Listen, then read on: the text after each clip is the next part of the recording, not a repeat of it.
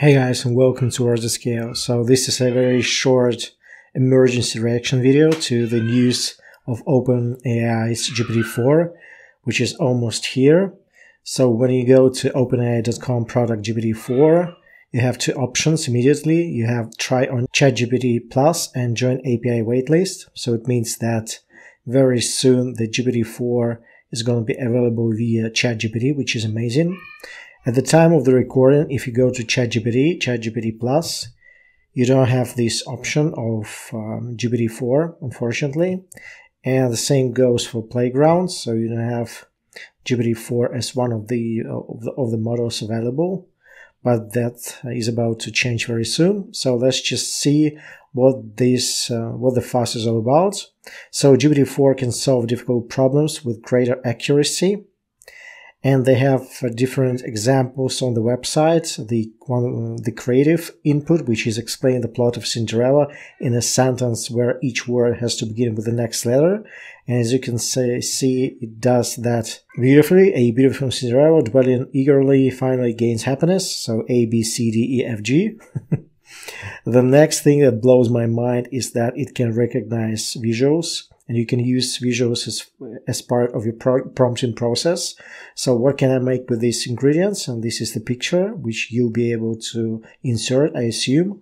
And the output is, there are many options for what you can make with these ingredients. Some poss possibilities include pancakes, French toast, omelette, and so on and so forth. And you get longer content as well and it seems like you maybe will be able to parse or fetch from different uh, sources online. So this input has a reference to a Wikipedia page on Rihanna. And the prompt goes describe her Super Bowl performance and what made it special. And this is the output, which is accurate. And some of the other use cases are logical and math problems. Basic performance, which is much higher than that of GPT 2 and 3 and 3.5 OpenAI openly admits that uh, even such a powerful model as GPT-4 still has its limitations. So we are talking about social biases, hallucinations, and I have read somewhere else that uh, GPT-4 is still not factual. So it's not 100% factual, but I would assume that the training base uh, is up to date as much as possible. And again, as far as availability, this is the question on everybody's minds.